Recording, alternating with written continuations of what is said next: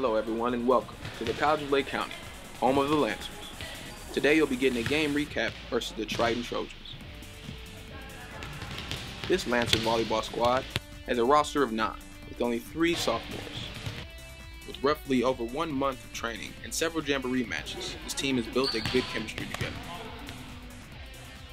The coaching staff, Mr. and Mrs. Sesniak, are looking to use all of their years of experience to mold this team into some fierce competitors.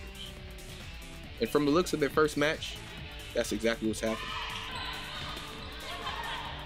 And with a post-game interview, Bill Sesniak gave a few statements on the team. Uh, we were excited. Uh, the girls have been getting along really well. There's a really good team chemistry with these players this year. And uh, they're all getting along really well. They're bonding together well. They play hard at practice. And we were expecting that to happen here also. For a lot of these girls, it's the first time playing college volleyball. Uh, we only have two returning players from last year. So the rest of them are all new to college volleyball.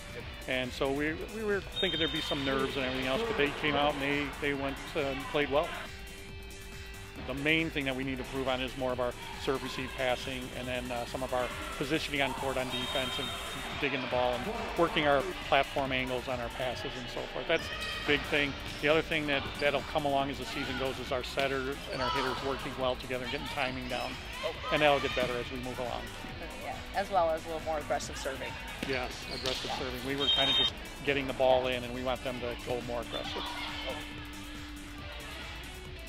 And during today's match, the team performed great, winning all three sets. And there you have it, the Lancer volleyball team starting their season off with a victory.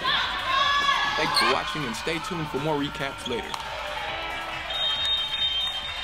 More